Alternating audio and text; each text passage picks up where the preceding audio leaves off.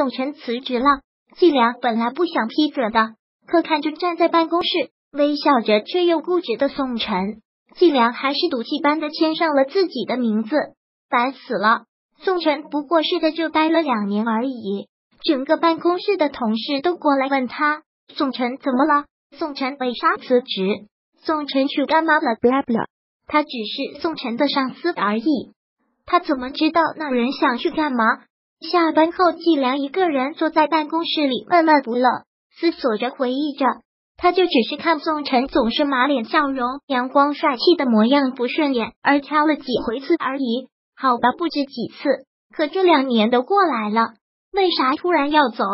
宋晨总是和办公室的那几个新人一起去吃饭，有时候也会和别人一起订外卖，却从没有和季良一起吃过饭。除了全体聚会那次，他就那么不可接近吗？每次看见宋晨和别人交头接耳、交谈甚欢的模样，季良都忍不住泼一盆冷水，提醒那人认真工作。宋晨也不生气，朝他笑笑后低头工作。季良却觉得更憋屈了。他承认，他可能动了心，可有什么用呢？二，在一次因为加班没赶上饭点，季良订了饭拎去休息室，没想到休息室还有人坐在那里吃饭。他点点头，嗯，对面的就是那个经常和宋晨一起吃饭的两人了。季良忽然觉得有些吃不下饭。嗯，第一次发现对面这两个人还挺面善。季良喝了一口温水，他话这么多啊？另一个人笑了笑，哈哈哈。每次宋晨一大早过来上班，第一件事就是开饮水机。大夏天的，基本没人喝热水，大概是因为想让部长你喝上热水吧。他顿了顿，望着手中的水杯，神色莫名。每天浇水。原来他之前的六盆多肉全是被淹死的。他点点头，嗯，因为那次休息室里的聊天，季良也开始渐渐的和下属们亲近了许多，偶尔也会一起在休息室里边吃饭边聊天。虽然通常是他们说，计量听列表里的宋晨一直在线，点开对话框的计量却只是翻着聊天记录，全是宋晨工作的汇报。他毫不留情的挑刺，宋晨好声好气的一遍遍修改。计量没有发消息给宋晨，因为不知说些什么，也不知该从何说起。也许就这样了。即使是知道，也许宋晨也大概可能有些喜欢他，也就到此为止了吧。毕竟宋晨已经选择了放弃，选择了离开。三离宋晨辞职已经有一年了。季良又买了一盆新的多肉，这次没有再被淹死，只是早上刚到办公室的时候没有热水可喝，有些失落而已。新上任的副部长说，最近有个新人要来面试，有过两年工作经验，让他一起去当面试官。季良倒了杯温水，走去会议室。来面试的是宋晨，季良惊讶不已，握紧了水杯，低下头没吭声。听着副部长的询问以及宋晨的回答，恍如隔世。当年面试的时候，宋晨比现在要稚嫩一些，却是同样的自信满满、阳光帅气。一切都像再次回到一年前。季良又可以每天早上喝到热水，每天望着他的肚肉皱眉，又得换一盆一模一样的。有些东西却已经变了，比如他不再去挑宋晨的刺，只是公事公办。熟悉的陌生，公式化的疏离。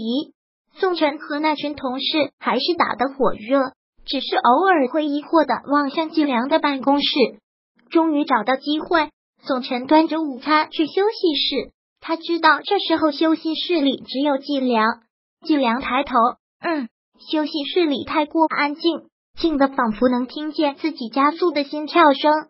季良没有吭声，宋晨却开了口。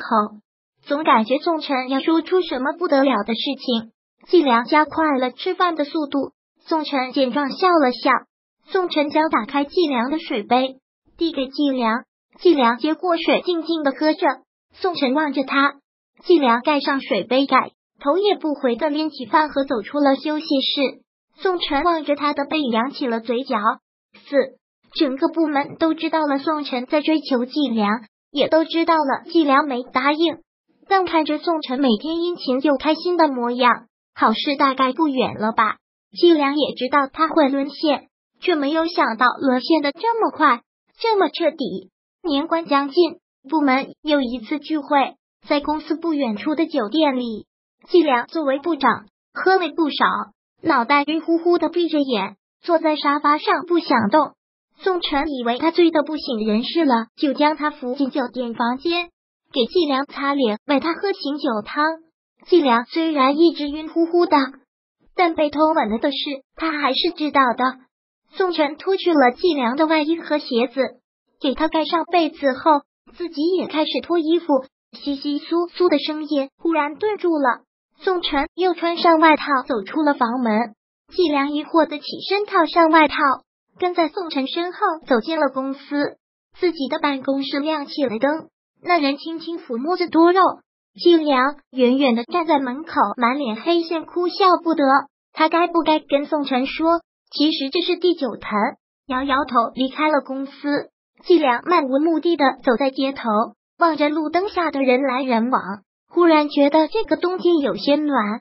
就在季良沉浸在夜色里时，手机铃声大作，他拿出口袋里的手机，电话那头传来宋晨慌乱不已的声音：“季良，季良，你现在在哪？你现在怎么样了？”季良勾起了嘴角：“我在酒店对面这个小公园门口。”说完，他挂断了电话。走到路灯下的木椅上坐了下来，天空飘起了小雪，季良的心里前所未有的宁静。有些事情是时候面对了。我回答他的是季良的白眼以及冷笑。是，我是喝多了才答应的。你现在可以从我的床上滚下去了。宋晨笑得像个傻子，紧紧的抱住季良。不管不管，你答应了就是答应了，你答应了要和我在一起。那天晚上，宋晨从公司回到酒店，发现季良不见了，心慌的厉害，颤抖着拿出手机打电话给季良。听到季良的声音后，才安心了一些，着急忙慌奔到小公园门口。季良安静的坐在那里，乖得不像话。于是他问季良，望向宋晨。宋晨坐在了季良身边，他知道季良可能喝多了，所以才会这么乖。对他的态度才那么好，于是他像是想给自己找个机会一般，再一次告白了。宋晨是很期待，却没有想到季良真的点头了。他开心的抱住季良，笑开了眉眼，没有看见季良闭上眼睛扬起的嘴角。于是第二天早上醒来时，他盯着身边的季良，不停的问：“番外。”季良把他带到办公室，指着多肉。季良说完，回到了办公桌前，没有再搭理宋晨。不一会儿，宋晨从季良身后抱住季良，窃喜的声音传来。季良顿了顿，愣愣的扒开宋晨的手：“没有，没什么事的话，你可以出去工作了。”宋晨愉悦的望着季良红透了的耳根和紧抿的唇，满满的爱意促使他做了一件事，亲了季良一口，然后立马逃出办公室。不是宋晨没胆，他是怕季良恼羞成怒。如果喜欢本视频，请分享并订阅本频道，访问 T T News 点 X Y Z 获取更多相关资讯。